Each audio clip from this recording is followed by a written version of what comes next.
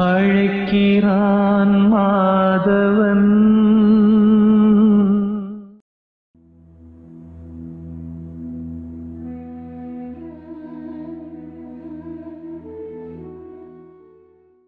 எல்லோருக்கும் வணக்கம். ஆல்ரெடி இருபத்தி ஒரு நாள் பிரம்ம முகூர்த்தம் கிளாஸ் நடந்து முடிஞ்சிருக்கக்கூடிய நிலையில் அடுத்த பிரம்ம முகூர்த்தம் கிளாஸோட டேட் அனௌன்ஸ் பண்ணியிருக்கோம்.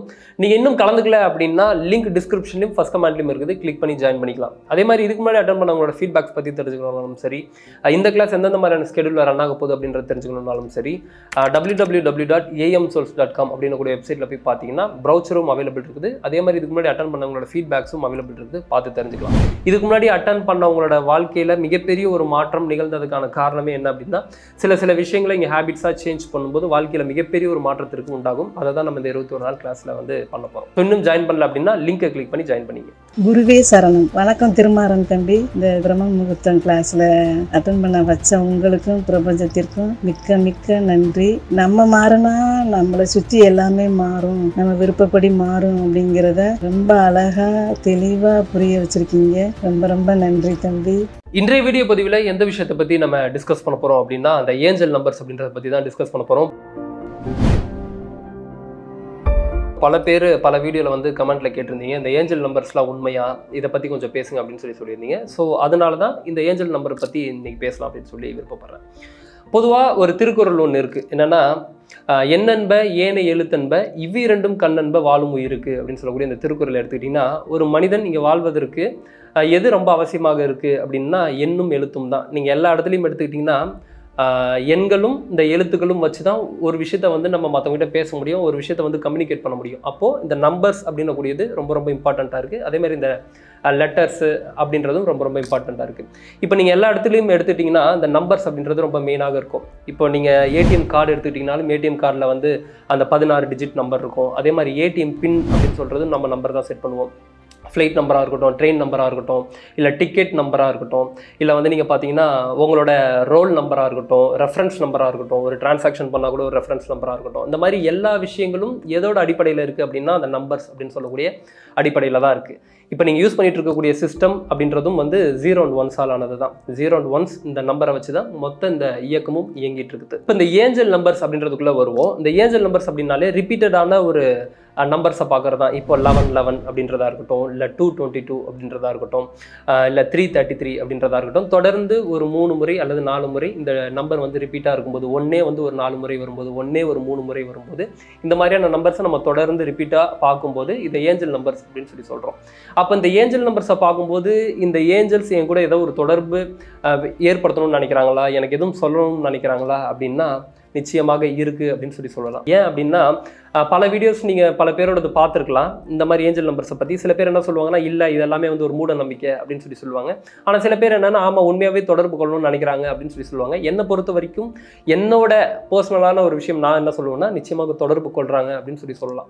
என்ன காரணம் கேட்டிங்கன்னா இப்போ நீங்கள் கோயிலுக்கு போனீங்கன்னா கூட ஏதாவது ஒரு டிசிஷன் எடுக்கணும்னு இருக்கும் உங்களுக்கு.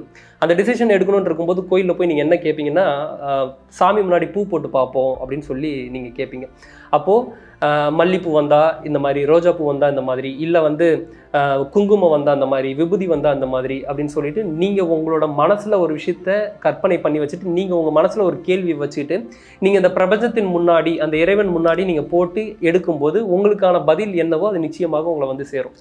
அப்போது உங்களோட மனதில் ஒரு கேள்வி எழும்போது இது நான் சரியாக பண்ணுறேன்னா இந்த மாதிரியான விஷயங்கள் நான் தொடர்ந்து பண்ணும்போது எனக்கு கரெக்டாக இருக்குமா அப்படின்னு சொல்லி நீங்கள் நினைக்கிறீங்கன்னா இது நிச்சயமாக பிரபஞ்சத்திலிருந்து உங்களுக்கு பதில் நிச்சயமாக கிடைக்கும்.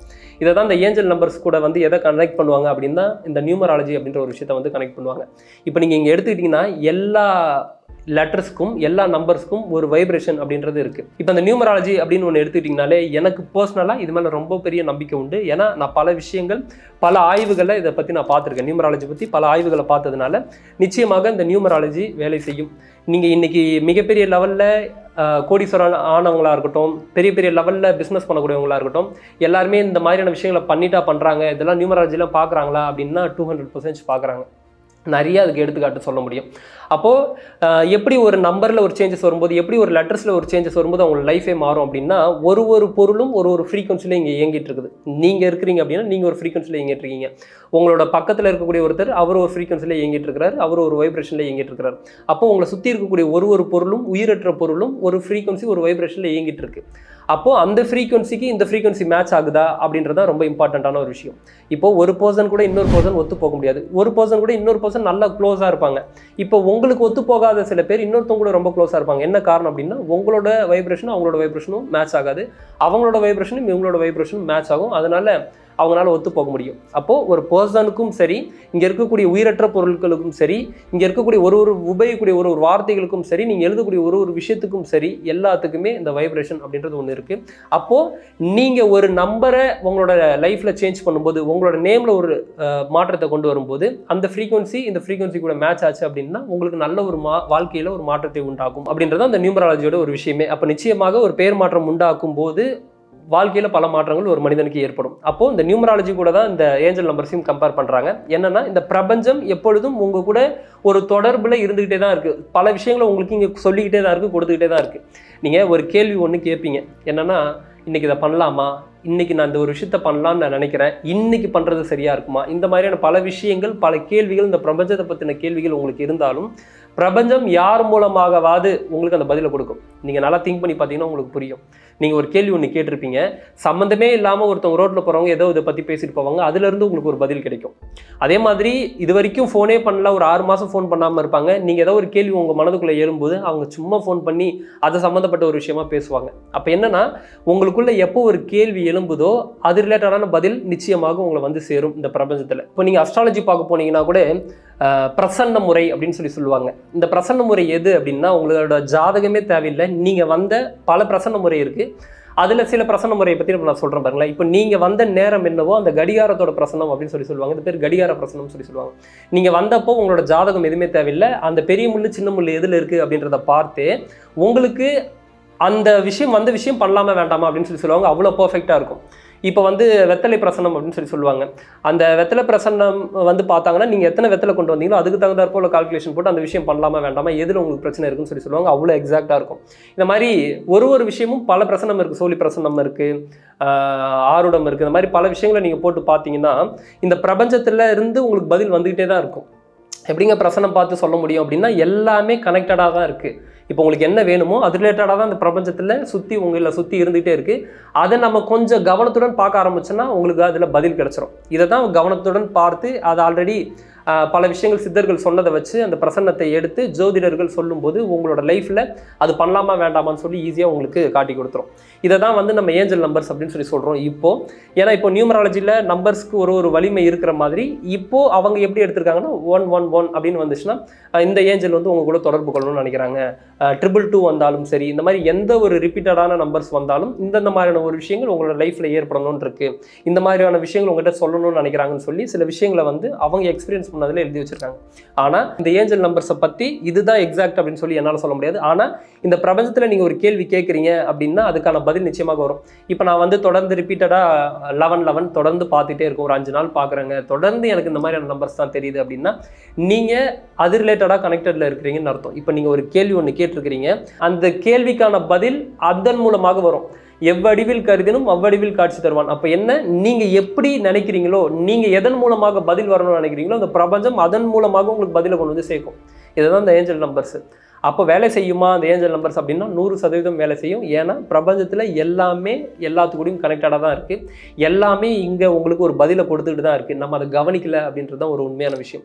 அப்போ ஏஞ்சல் நம்பர்ஸை நம்பலாமா அப்படின்னா நிச்சயமாக நம்பலாம். நீங்கள் கேட்கக்கூடிய ஒரு ஒரு விஷயத்துக்கும் அந்த ஏஞ்சல்ஸ் உங்களுக்கு நிச்சயமாக பதில் கொடுப்பாங்க. எப்படிங்க இந்த ஏஞ்சல்ஸ்லாம் இருக்காங்களா அப்படின்னா எல்லாம் சூட்சம ரீதியாக இருக்கிறாங்க. நம்ம பார்க்க முடியல அப்படின்றதுக்காக ஒரு விஷயத்தை இல்லை அப்படின்னு சொல்லி சொல்லிட முடியாது. எல்லாமே இங்கே இயக்கத்தில் சரியாக இயங்கிட்டு இருக்குது. பல தேவதைகள் இருக்காங்க. பல விஷயங்கள் இங்கே இருக்குது அது உங்களால் பார்க்க முடியல அவ்வளோதான் பல தேவதைகளை வந்து வசியம் பண்ணிடலாம் கூட ஜோதிடர்கள் சொல்லுவாங்க யட்சினி தேவதை அப்படின்னு சொல்லி சொல்லுவாங்க. யட்சினி தெய்வத்தை வந்து வசியம் பண்ணிட்டாங்கன்னா அவங்க முன்னாடி வந்து உட்காரும் போதே காதில் சொல்லிவிடும் அந்த தேவதை.